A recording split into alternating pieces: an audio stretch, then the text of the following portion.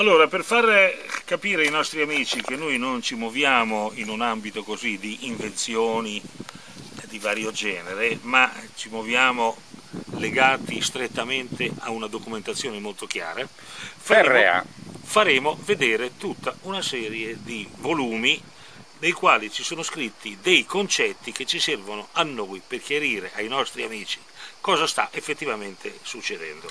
Ho letto prima... i commenti che ci eh, mandano ultimamente e molti dicono che ci hanno sostituito al telegiornale. Esatto. Allora, a proposito, hai, hai, detto una cosa molto giusta perché bisogna ripetere quello che ha detto l'ex Presidente del Consiglio D'Alema, che quando eh, gli hanno chiesto se lui leggeva i giornali e lui ha detto per carità io i giornali non li leggo per niente perché io essendo io giornalista eh, so cosa scrivono i giornalisti i quali eh, se eh, arrivano a dire il 30% delle verità è già qualcosa quindi noi sappiamo una, bene che non è nemmeno il 30% nemmeno il 30% molto meno forse il 2 o il 3. Ah, allora adesso ci leggiamo alcune cosette.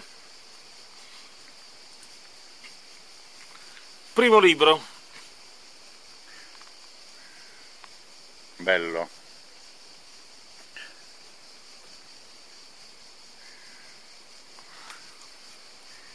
Pagina 90. Qui ci sarebbe tanto da leggere, però noi stiamo qui a fare una specie un di curriculum. Cernita, una specie di cernita di cose più interessanti. Scrive quest'autore, per raggiungere gli obiettivi delittuosi avanzati dall'imperialismo è necessario preparare nuovi uomini, automi senza opinioni, moralmente vuoti, esecutori della volontà altrui, educati alla violenza. Uno come Monti, un androide. Certamente, ecco qua descritto in maniera molto chiara. L'ideologia degli sfruttatori è sempre stata incentrata sulla degradazione dell'uomo. Sin dai tempi remoti si praticava portare l'uomo alla degradazione, ad una condizione semibestiale per instaurare il dominio di un'elite sul resto dell'umanità, per ottenere il potere e le ricchezze.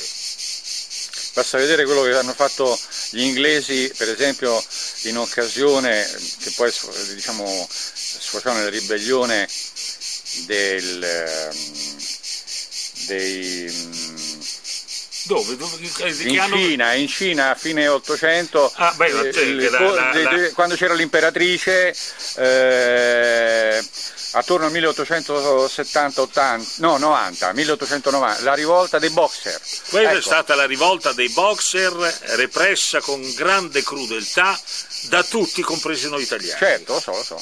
Ma la cosa ancora più brutta è quando... Era la condizione di eh, eh, schiavismo intellettuale, morale e fisico indotto con le droghe da parte di, dei conquistatori inglesi. Esattamente, ecco lì, la guerra dell'oppio. Certamente. Oh, non solo, ma c'è stata anche la ribellione dei Cipois la India, certo. 1857, certo, certo. repressa con una crudeltà incredibile da questi milioni signori. di morti eh, indiani, eh, non qualcuno, milioni e passano per essere delinquenti solo, solo i nazisti. I nazisti passano per essere delinquenti. Sì. Che hanno ammazzato non si sa quanti, ma non certamente intenzionalmente. No? È noto che ogni teoria... Morti in guerra, che è una cosa molto diversa. È noto che ogni teoria deve avere una sua applicazione pratica, facendo degradare gli uomini, instillando in loro idee di odio contro l'umanità, affinché siano sempre pronti a quelle misure estreme che la reazione intende intraprendere contro il progresso, l'imperialismo è costretto ad offrire alla gente un certo ideale di società, un'illusione o un surregato di felicità. La società delle uguali possibilità, la società del benessere, la società industriale, la società libera. Quanti termini sono stati inventati dagli apologeti della società capitalistica. Vi sembra di sentire quello che ha detto la nostra amica Chienghe, perché la Chienghe ha ripetuto stancamente quelle parole che probabilmente sono state impresse nel cervello al momento opportuno, perché eccolo qui il discorso. Lo dice molto chiaramente questo autore. Proseguiamo. Proseguiamo. La trasformazione della democrazia. Ma chi l'ha detto che la democrazia è la migliore No, vabbè, qui si parla, di, qui si parla di, un, di un regime che noi chiamiamo democrazia e che si sta sotto i nostri occhi trasformando. Il programma della pace sociale è rivolto anche contro il pericolo di una violenza emancipatrice. Se non che gli, gli stessi mezzi pacifici devono essere ulteriormente mediati. Panis et circenses, il consumo e il tempo libero non bastano in un mondo dinamico in cui continuamente possono scoppiare delle crisi. E il discorso è lo stesso, no? La terra è di tutti, no? Questo, questo discorso fatto davanti agli sbronzi di Riace. Eccolo qui, no? Le parole di pace per tenere buone la popolazione affinché non si ribelli chiedendo quello a cui ha veramente diritto. Ma proseguiamo, siccome noi ci muoviamo nell'ambito di cose ben precise. Bello, bello, questo, questo me lo devi dare. Eh, lo scannerizziamo. Questo è stato pubblicato a cura del Parlamento italiano non diritti, ma doveri dell'uomo. Allora, qui abbiamo tante cose che noi potremmo eh, riferire e che ovviamente noi oggi in questo momento non possiamo leggere tutta quest'opera che è per noi fondamentale. Attenzione cosa dice Mazzini in riferimento ai bolscevici dell'epoca. Ma il disegno di quei che, limitandosi alla questione economica, chiedono l'abolizione della proprietà individuale e l'ordinamento del comunismo... A proposito della Chiang... Eh, tocca l'estremo opposto, nega l'individuo, nega la libertà, chiude la via al progresso e impietra, per così dire, la società. Non ci può essere uomo libero senza diritto di proprietà. Non è detto che uno sia proprietario di un latifondo, perché noi siamo i primi a distruggere il latifondo, ma devi distruggere il latifondo, devi distruggere le proprietà delle multinazionali che sfruttano i popoli del, Furio del Camillo, mondo. Furio Camillo e il Senato italiano, eh, romano, appena vinti i veienti, fecero l'assegnazione a ciascuna famiglia, clan de, che aveva partecipato alla conquista di Veio e assegnò eh, 3.500 iugeri a ciascun eh, legionario. A e ciascun... non, di più. non di più. E non di più. È la piccola proprietà che fa l'uomo. E ripeto, la condizione dello schiavo è la condizione dell'individuo che non ha proprietà. Nel momento in cui tu sei proprietario della casa dove ragioni in maniera diversa, hai, hai, un vincolo, hai un grande, una grande ancora morale e anche in, di interesse economico. Oh. Eh, eh, allora, la, siccome questo è quello che dice Mazzini, Mazzini ha perfettamente ragione, probabilmente la Chienghe che viene dal Congo, che è stata trattata da schiava fino all'altro ieri, non ha questi concetti e non riesce a capire che può esistere la proprietà, che anzi la piccola... Parallelamente alla libertà. Appunto, ma non esiste la libertà senza la proprietà, perché l'uomo senza... Esatto, l'uomo senza proprietà è uno schiavo, è la condizione dello schiavo. La formula generale del comunismo, continua Mazzini, è la seguente. La proprietà di ogni cosa che produce, terre, capitali, mobili o immobili, strumenti di lavoro, sia concentrata nello Stato.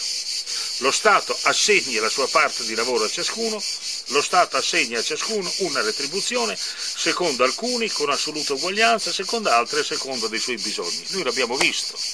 Che cosa è stato il bolscevismo? Il bolscevismo è stata l'applicazione di questo criterio. nel quale alla fine per Stato in realtà c'era la burocrazia statale degli iscritti al Partito Comunista Russo, che comandava su tutti, gli altri erano tutti schiavi. Dobbiamo renderci conto, questo è stato scritto in un'epoca in cui bisognava avere il genio e l'intelligenza di Mazzini per capirlo. Gli altri continuano a rimanere dei coglioni e hanno continuato a dare ragione non solo ai comunisti, ma soprattutto oggi ai catto comunisti, che hanno unito la truffa del comunismo ideologico. È il raggiro del cristianesimo. È il raggiro del cristianesimo. Questo è. Concludiamo. Dice Mazzini, questa se fosse possibile sarebbe vita di castori, non di uomini. La libertà, la dignità, la coscienza dell'individuo spariscono in un ordinamento di macchine produttrici. Infatti cosa succedeva? Non c'è più l'anima dell'uomo. Cosa succedeva nella, nella Russia bolscevica? Che chi si opponeva, chi si opponeva lo giudicavano matto. Chi voleva difendere la propria integrità, la propria proprietà, se proprio per, se stesso... Se per quello anche gli americani, vedi Ezra Pound. Esattamente, esattamente. Però in Russia era la prassi allora ti opponi alla società del gregge, alla società dei castori, sei un matto. Il fatto che poi sia tutto crollato miseramente in un mondo di miseria, di squallore, dimostrava che quelle persone eh, tutto erano forche matti, erano matti quelli che pretendevano di comandare, di dominare, condizionare per conto di loro signori, perché come ormai è, è stato ampiamente dimostrato, erano loro signori che si servivano del sempre, bolscevismo sempre per controllare le popolazioni dell'est europeo. Proseguiamo. Questo è una cosa di un interesse stratosferico. È un libro del 1930 in cui sono state pubblicate tutte le costituzioni del mondo fino ad allora. Ovviamente non possiamo leggere ah, tutto, a proposito, no, io devo dire una cosa, che tutti questi cavolo di giornalisti che si pre, pre, presumono e pretendono e arrogano il diritto di sapere e di diffondere la conoscenza, che in realtà non sanno assolutamente nulla, nulla uno dei, dei, cardini che vengono diciamo, stimolati a propalare in giro per eh, diciamo, le, le, menti eh, contorte, contorte di, di, quelli che li ascoltano e li leggono, vengono condizionati a dire che la mm, Costituzione italiana è la più bella del mondo. Ma, ma si sono mai andati a leggere una qualunque altra Costituzione? No, parte, que... no io voglio citare soltanto la, la, la Costituzione venezuelana, sì. che è stata fatta una decina esatto. d'anni fa da Chavez. Esatto. Da, non deve essere letta. Non deve, non deve, essere letta perché se la leggessero e vedessero che cosa scrive, la, eh, che cosa si, si, si, enuncia sulla Costituzione eh, venezuelana, non potrebbero più dire che la Costituzione italiana è la più bella del mondo. Se avessero un minimo di, minimo di critica e anche estetica, cosa certo. che questi poveracci non hanno e io sfido chiunque di costoro, soprattutto i giudici costituzionali, a dirmi se conoscono veramente la Costituzione italiana. Ma andiamo avanti. Leggiamo allora delle carte dei diritti una cosa che riguarda la Francia, dichiarazione dei diritti dell'uomo adottata dalla Convenzione nazionale il 29 maggio 1793. Quella che abbiamo già citato poco fa. La legge, articolo 16, la legge non deve assegnare che pene strettamente ed evidentemente necessarie. Le pene devono essere proporzionate al delitto e utili alla società. Ma guardate con quale profondità. Andatelo a dire ai magistrati, ai magistrati no, italiani. Ah, anche il codice italiano dice, eh, sì, dice eh, sì, ma che la pena deve essere commisurata sì. all'entità. Ma certo, preso da questo. Del... Articolo 17. Il diritto di proprietà consiste in ciò che ognuno è padrone di disporre a suo piacere dei suoi beni, dei suoi capitali, delle sue rendite e della sua industria. Articolo 18. Nessun genere di lavoro, di cultura, di commercio gli può essere vietato. Può fabbricare, vendere e trasportare ogni specie di prodotti. 19. Ognuno può impiegare i suoi servizi, il suo tempo, ma non può vendere se stesso. La sua persona non è una proprietà alienabile. ripetiamo, la sua persona non è proprietà alienabile, per cui, cara Chienghe, tu vallo a dire ai tuoi padroni delle multinazionali, che sono quelli che stipendiano, che stipendiano i vari partiti. Non solo i partiti, ma gli schiavisti che portano questi schiavi, questi moderni ah, schiavi sì, sì, sì. sulle coste italiane. Sappiamo benissimo che oramai è un'organizzazione internazionale esatto. E poi che cosa tutto. devono servire questi, questi schiavi che tornano a che poi... scalzare il sistema nazionale. Esattamente, esattamente. esattamente alla creazione di quello che in termini più chiari si chiama del cemento, la, la distruzione del, del cemento unificatorio nazionale.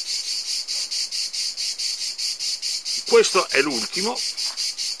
Nessuno può essere privato della minima porzione della sua proprietà senza il suo consenso se non quando la necessità pubblica legalmente constatata, legalmente constatata lo esiga evidentemente e sotto condizione di una giusta e previa indennità. 21. Nessun'altra contribuzione può essere stabilita che per l'utilità generale e per sovvenire ai bisogni pubblici. No, voglio dire eh, una puntualizzazione. A questo proposito, in Italia solo nel 2001 è stata emanata il decreto legislativo 325 e 327 del 2001 in cui si recepiscono queste cose qua, e cioè sul giusto ed equo risarcimento dell'espropriazione del privato. Tu pensa che roba, ci abbiamo messo 215 anni. Ma abbiamo questo, ripeto, nessun'altra contribuzione può essere stabilita che per l'utilità generale e per sovvenire ai bisogni pubblici. Quindi tu monti e compari, Napolitano, Monti, compari, Letta e altri cialtroni del genere, che avete portato via i soldi attraverso le tasse per darli alle banche, siete completamente fuori legge. Siete degli assassini e delinquenti. L'abbiamo detto in tante occasioni. Tutti i cittadini hanno il diritto di concorrere personalmente o per mezzo dei loro rappresentanti allo stabilimento delle contribuzioni, di sorvegliarne l'impiego e di farsene rendere conto. È quello che noi stiamo facendo regolarmente. Con I consuntivi vogliamo. Regolarmente con le nostre denunce. Proseguiamo. Questo è un libro di cui vorremmo che i nostri amici leggessero qualcosa. La conquista silenziosa. Eccola qui la conquista silenziosa. Non la fanno con le armi, non la fanno arrivando con le truppe della NATO. Il colpo liquido, il colpo diluito. La, mando, la fanno mandando Chienghe, con quest'aria buonista di negretta. Sai che sembra? Eh, la mami di Via Colvento. Esattamente, bravissimo. Un po' più giovane. Esattamente, esattamente. Così vediamo spuntare i germogli dell'ultimissima fase della conquista silenziosa, le imprese che prendono posizioni contro i governi in carica. Ma è la stessa cosa. Se io sono un'impresa eh, multinazionale che prende posizione contro i governi in carica, come hanno fatto nel centro Sud America, alle quali fortunatamente i popoli si sono ribellati, o se sono una che all'interno di un di una compagine ministeriale prende posizione contro le leggi dello Stato è la stessa cosa. Le imprese che prendono posizione contro il governo in carica, accelerando attivamente i programmi della politica, surrogando per i fallimenti dei politici. Le compagnie stanno cominciando a porre rimedio ai mali sociali e a dispensare giustizia dove lo Stato manca di farlo a gestire situazioni di degrado ambientale mentre i governi sembrano paralizzati, a difendere i diritti umani in quelle parti del mondo dove nessun politico sembra in grado di intervenire. È chiaro? Quindi oggi non solo ci troviamo in una situazione che noi abbiamo ampiamente descritto, ma ci troviamo anche in una situazione in cui le grandi multinazionali con lo sputtanamento totale della classe politica che è comunque al loro servizio, questo è tipico della condizione de, del servo, dello schiavo, no? E surrogano, prendono loro il posto, amministrano loro la giustizia e esautorano, esautorando il potere politico, anche il potere dei cittadini che hanno votato. Questa è la logica del sistema. Noi abbiamo molte altre cose, comunque le facciamo vedere. Questo, Bella. questo è veramente qualcosa che noi dovremo commentare perché gli stessi preti non lo no, conoscono. No, no, sì, a parte pochissimi lo sanno, però loro se ne avvalgono, perché qui questo è diritto canonico, è chiaro? Se ne allora, avvalgono a, eh, strafottendone, strafottendosene della legge italiana. Andassero a proporre le loro cose, capito, come noi le proporremo a loro, hai capito? Ecco, va bene? Chi Chiaro. conosce il diritto canonico sa che nel diritto canonico è, è rispettata la loro libertà, capito? Quindi rispettassero la nostra. Questo, dove nascono veramente le norme di legge italiane, cioè dai fatti, dalla concretezza no, dei fatti. L'abbiamo detto prima. Su questo diremo quanto dovremo dire. In conclusione, questo è diritto europeo.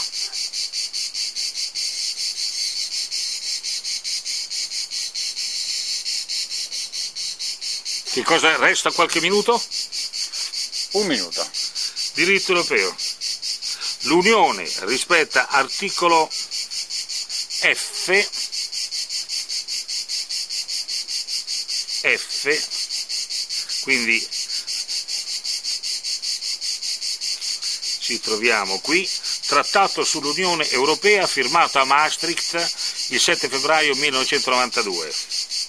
L'Unione rispetta l'identità nazionale dei suoi Stati membri, i cui sistemi di governo si fondano sui principi democratici. L'Unione rispetta i diritti fondamentali quali sono garantiti dalla Convenzione europea per la salvaguardia dei diritti dell'uomo e delle libertà fondamentali, firmata a Roma il 4 novembre 1950. E con questo chiudiamo. Bene, ciao a tutti, al prossimo video entro breve.